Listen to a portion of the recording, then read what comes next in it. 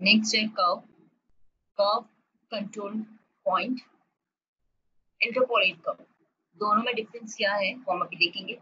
अगर हम control point से कर्व यूज़ करते हैं for example first click degree आपका थ्री है।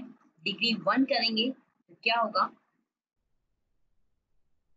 Create a polyline degree three करेंगे तो आपका कर्व बनाना शुरू हो जाएगा। क्योंकि जहाँ भी मैं क्लिक कर रही हूँ सपोज़ यहाँ क्लिक किया है तो मेरा सेकेंड क्लिक के बाद करने पे वो मेरी पॉइंट से अपनी पोजीशन चेंज करता this is a control point का। कंट्रोल पॉइंट का मतलब कि आप इसको बाद में भी कंट्रोल कर सकते हैं। सी यहाँ पर मेरी पोजीशन चेंज हुई थी मैं इसको बाद में भी कंट्रोल कर सकती कंट्रोल पॉइंट का। लेकिन अगर मैं इंटरपोलेट कर्व लेती हूँ आई क्लिक हियर तो जहाँ भी मेरा क्लिक होगा मेरा कर्व वहीं पर ही बनेगा ये देखिए मैं इसको भी हैंडल कर सकती हूँ बट उसी पॉइंट पे मेरा कर्व काम करेगा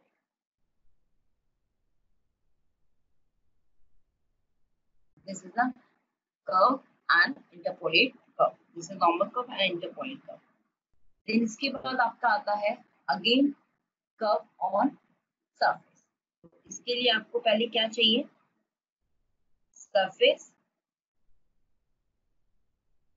Dear friends, this is our YouTube channel. If you like this video, please subscribe our channel and press the bell icon. And this is our website, geminiarchitecture.com. And these are the courses we are provide trainings on this software as well as interior designing.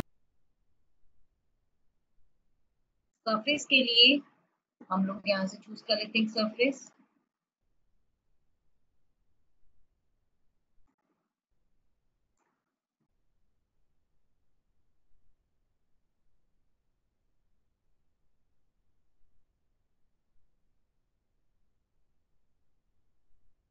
meaning according to surface covenant. Perspective.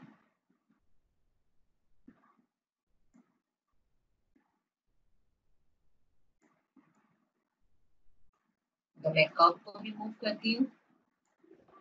ये can't move because surface पे बना है और अगर मैं surface को move करती हूँ तो मेरा कर्व भी साफ़ हो। This is the handle curve handle curve का मतलब कि आपने अगर यूज़ किया होगा फोटोशॉप उसमें पेन टूल आता है, ये उसी तरह से हैंडल कर्व है। हैंडल कर्व के लिए आपने और तो कोई भी कर्व अगर आप बना रहे हैं हैंडल कर सकते हैं। के थ्रू उसको हैंडल कर सकते हैं।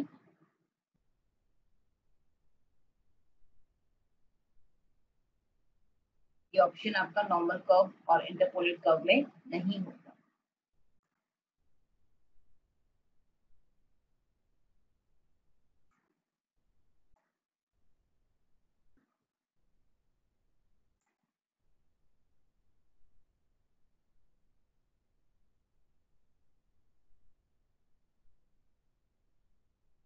this is a handle curve आप उसको उसके अकॉर्डिंग हैंडल कर सकते this is the points on अगर आपको क्लिक करने पे ये पॉइंट्स मिलेंगे, अगर आप चाहते हैं ये पॉइंट्स आपको बिना क्लिक करके भी एक्टिवेट हो use a control points show on click enter ये विदाउट क्लिकिंग भी आपके पॉइंट्स ऑन हो गए अब इसको आप चेंज कर सकते हैं।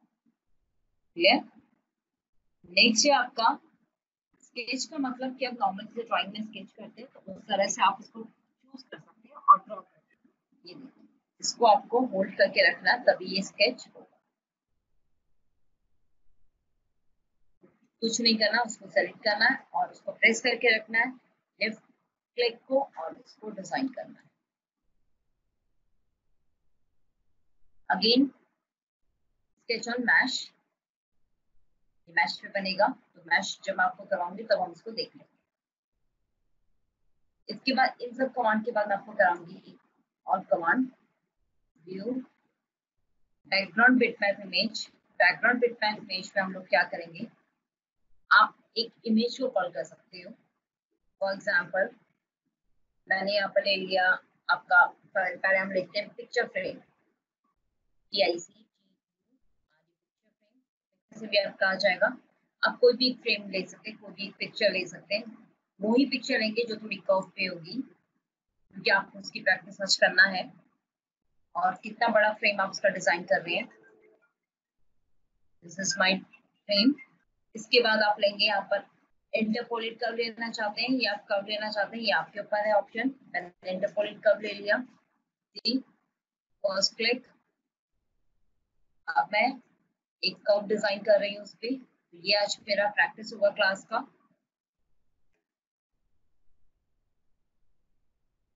अब देखिए, मैंने डिज़ाइन कर दिया लेकिन मुझे डिज़ाइन अभी दिख नहीं रहा कि मैंने क्या डिज़ाइन किया है। तो आप सेलेक्ट करेंगे पिक्चर को। यहाँ पर इसकी आती है कैटेगरी मटेरियल मटेरियल पे क्लिक करेंगे। और थोड़ा सा ड्रॉप डाउन तो यहाँ पर आता है आपका ट्रांसपेरेंसी ट्रांसपेरेंसी को आप थोड़ा सा कम कर लीजिए कि आपको इमेज दिखे तो जो आप क्रिएट करें, वो भी आपको साथ साथ दिखे।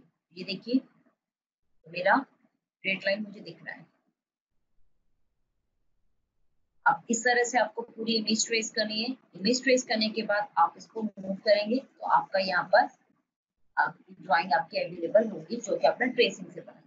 Our youtube channel gemini architectural and these are the videos. All videos suppose you want to learn autocad dialyze 3ds max solidwork revit rhinoceros super as well as lot of software tutorial in this youtube channel and please subscribe this channel and press the bell icon for latest information about new videos. And this is our website geminiarchitectural.com and these are the courses we provide training on these softwares